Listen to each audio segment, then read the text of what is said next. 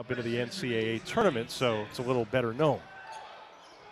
Pushing the tempo, it's swung to Summers, and he drills his first open look. Atkins gets the rebound, splitting two defenders. Summers underneath, cleans it up. For five to go before the half. Trice up top, Summers completes the alley oop off glass. Summers the steal. Two on two, Summers not interested in giving it up. He lays it in.